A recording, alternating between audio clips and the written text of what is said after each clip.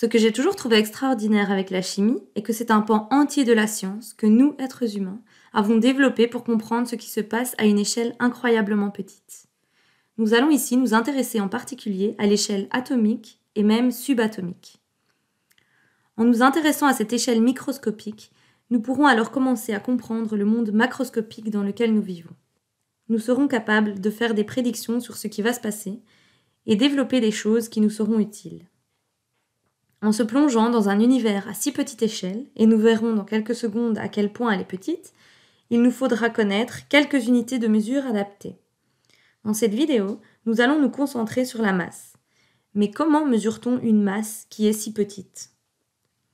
Pour ce faire, la communauté scientifique a historiquement utilisé la notion d'unité de masse atomique symbolisée par UMA. Celle-ci a été jugée obsolète et a récemment été remplacée par l'unité de masse atomique unifiée de symbole U.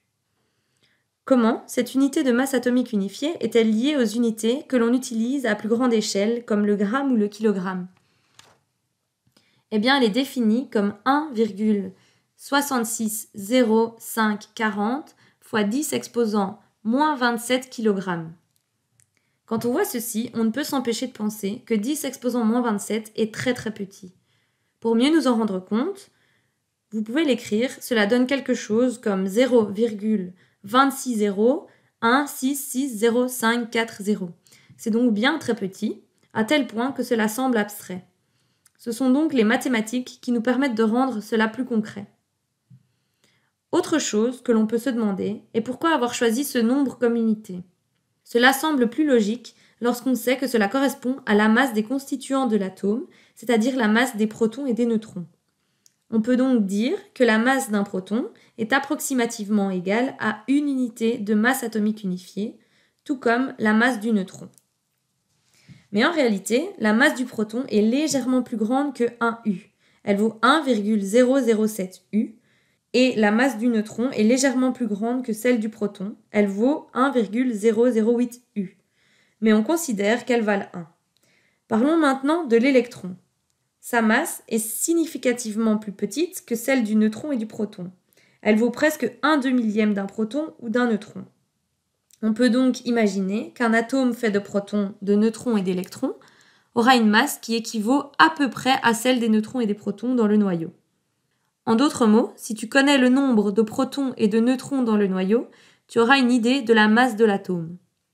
On peut voir cela dans le tableau périodique des éléments, que nous étudierons plus en détail dans d'autres vidéos. Observons tout de même quelques éléments intéressants. D'abord, on peut voir dans le tableau périodique des éléments l'abréviation d'un élément donné, par exemple H qui représente l'hydrogène. Ensuite, en haut d'une case, on retrouve un nombre qui est le nombre atomique. Il nous donne le nombre de protons de l'élément. En effet, un élément est défini par son nombre de protons. Donc, N'importe quel atome qui a exactement un proton dans son noyau sera de l'hydrogène par définition. N'importe quel atome qui a 20 protons dans son noyau sera du calcium par définition. N'importe quel atome qui a 36 protons dans son noyau sera du krypton par définition. À quoi peut-on s'attendre concernant la masse de l'hydrogène? Réfléchis-y et mets la vidéo en pause. Nous savons que tous les atomes d'hydrogène, par définition, ont un proton. Mais il s'avère en réalité qu'il y a différentes formes d'hydrogène qui ont un nombre différent de neutrons. La plupart de l'hydrogène de l'univers a zéro neutron. Il y a certains atomes d'hydrogène qui en ont un ou deux, mais 99,98% en ont zéro. De plus, si ces atomes d'hydrogène sont neutres, ils auront donc un proton zéro neutron et un électron. Lorsqu'on parle de la forme d'un élément donné, il y a un terme plus approprié qui est celui d'isotope. Les différents isotopes, qui ont tous le même nombre de protons pour un élément donné, ont un nombre de neutrons différent.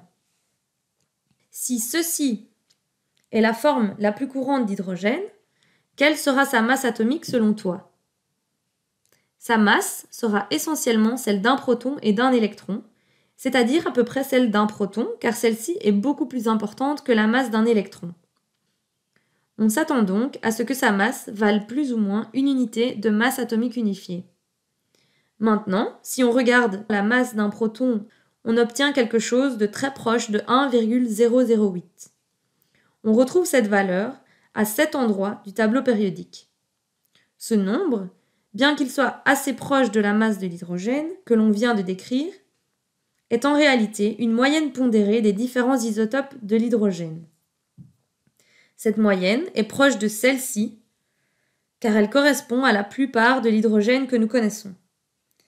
Mais si par exemple nous avons deux isotopes d'un élément hypothétique et que 80% de l'élément est un isotope avec une masse de 5 unités de masse atomique unifiée, que 20% est un isotope avec une masse de 6 unités de masse atomique unifiée, on obtiendrait une moyenne pondérée de 5,2 unités de masse atomique unifiée.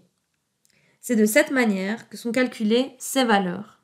Elles ne sont donc pas simplement la masse d'une forme de l'élément, mais bien une masse pondérée des différents isotopes, donc des différentes formes de cet élément. Cette valeur du tableau périodique des éléments est connue comme la masse atomique moyenne. Dans les vieux livres de chimie, ils appelaient aussi cette valeur poids atomique. Mais j'ai toujours trouvé cela inapproprié, car il s'agit bien de masse et non de poids. Concernant cette masse atomique moyenne, il est possible que tu entendes parler de masse atomique relative. C'est d'ailleurs le cas dans ce tableau périodique. En effet, le petit u après chacune de ces valeurs n'est pas indiqué. Ces valeurs sont sans unité. Cela signifie qu'il s'agit de masse atomique relative. Cela nous dit qu'en moyenne, par exemple, la masse d'un atome de carbone équivaut à peu près à 12 fois la masse de l'atome d'hydrogène. Si l'unité est indiquée alors il s'agit de la masse atomique moyenne.